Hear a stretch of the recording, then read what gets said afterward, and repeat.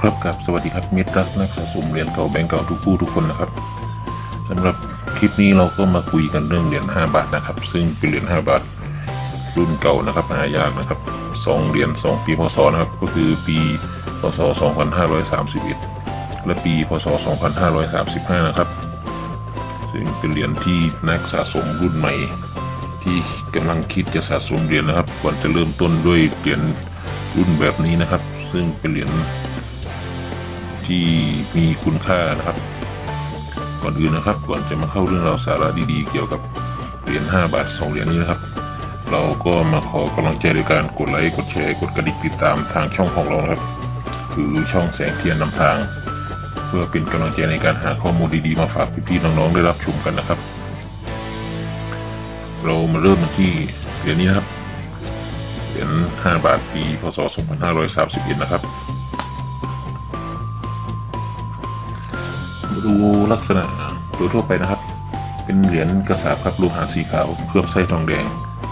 ราคาหน้าเหรียญอยู่ที่ 5 บาทนะครับตัวงขอบนอกครับจะเป็นรูปเฟืองยาวขนาดเส้นผ่าศูนย์กลาง 24มิลลิเมตรนะครับ น้ำหนัก 7.5 กรัมลวดลายของเหรียญนะครับ ด้านหน้านะครับ ตรงกลางเหรียญครับจะมีพระบรมรูปพระบาทสมเด็จพระปรมินทรมหาภูมิพลอดุลยเดชนะครับถินพระพักตร์ไปทางเบื้องขวา ทรงเครื่องบรมขัติยราชกุสิตาภรณ์ฉลองพระองค์คุยครับ บริเวณขอบเหรียญวงในมีลักษณะเป็นรูปเก้าเหลี่ยมนะครับ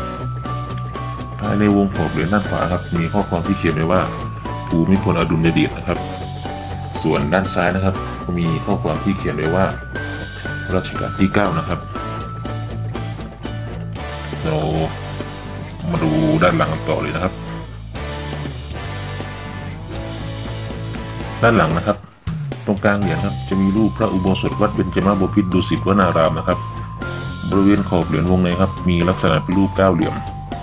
ภายในวงขอบเหรียญเบื้องบนครับ มีข้อความเขียนไว้ว่าประเทศไทย และปีพศที่จัดทำเนี่ยนะครับ ก็คือพศ 2531 เบื้องล่างนะครับมีเลขบอกราคาเลข 5 บาท เลข 5 ไทยและเลข 5อาราบิกครับ โดยจะมีข้อความคำว่าบาทขั้นอยู่ตรงกลางระหว่างตัวเลขทั้งสองนะครับสำหรับวันที่ประกาศใช้นะครับ เป็นวันที่ 1 มิถุนายน พศ 2531 นะครับจำนวนการผลิตนะครับ ยอดจำนวนการผลิตอยู่ที่ 44 ล้าน5แสน3,000เหรียญนะครับ ซึ่งเป็นถือว่าค่อนข้างจะน้อยนะครับ เพราะว่าเป็นเหรียญที่ติดลำดับที่ 9 นะครับ เหรียญหายากนะครับ การประเมินราคานะครับ เหรียญรุ่นนี้ครับ การประเมินราคา ถ้าเป็นเหรียญที่ยังไม่ผ่านการใช้งานนะครับ ราคาจะอยู่ที่เหรียญละ 95 บาทนะครับ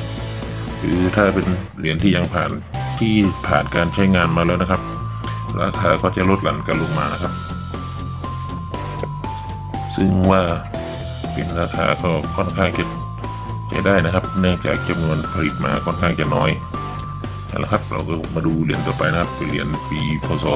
2535 นะครับ เรามาดูลักษณะทั่วไปของเหรียญนะครับ ลักษณะทั่วไปนะครับ เป็นเหรียญกระสาบโลหะสีขาวครับ เคลือบไส้ทองแดง ราคาหน้าเหรียญอยู่ที่ 5 บาทนะครับ ตรงขอบนอกนะครับ จะเป็นรูปเฟืองหยาบขนาดเส้นผ่าศูนย์กลาง 24มิลลิเมตรน้ำหนัก 7.5 กรัมลวดลายของเหรียญนะครับ ด้านหน้านะครับ ตรงกลางเหรียญจะมีพระบรมรูปพระบาทสมเด็จพระปรมินทรมหาภูมิพลอดุลยเดชนะครับปิ่นพระพักไปทางเบื้องขวาทรงเครื่องบรมขัติยราชกุสิตาภรฉลองพระองคุยนะครับ บริเวณขอบเหรียญวงในครับจะมีลักษณะเป็นรูปเก้าเหลี่ยมภายในวงขอบเหรียญด้านขวา มีข้อความที่เขียนไว้ว่าภูมิพลอดุลยเดชส่วนด้านซ้ายนะครับ ก็จะมีข้อความที่เขียนไว้ว่ารัชกาลที่ 9 นะครับ เรามาดูด้านหลังกันต่อเลยนะครับ ด้านหลังนะครับ ตรงกลางเหรียญครับ จะมีรูปพระอุโบสถวัดเบญจมาบพิตรดุสิตวนารามนะครับ บริเวณขอบเหรียญวงในครับ มีลักษณะเป็นรูปเก้าเหลี่ยมภายในวงขอบเหรียญเบื้องบนนะครับ จะมีข้อความที่เขียนไว้ว่าประเทศไทย ส่วน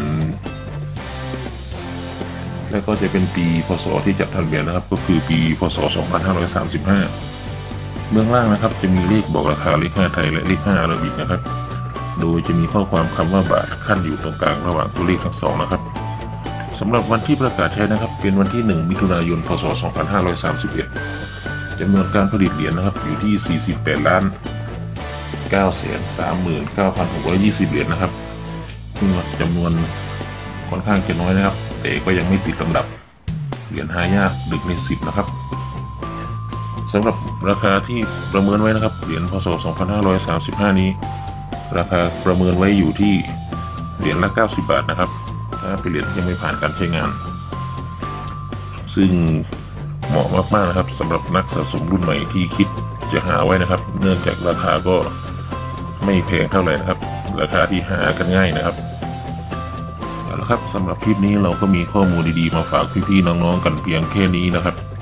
ถ้าชอบคลิปของเราอย่าลืมกดไลค์กดแชร์ที่สำคัญนะครับ อย่าลืมกดกระดิ่งติดตามนะครับ ท่านจะไม่พลาดข้อมูลที่เราอัปเดต ให้พี่ๆน้องๆได้รับชมกันวันต่อวันสำหรับคลิปนี้ สวัสดีครับ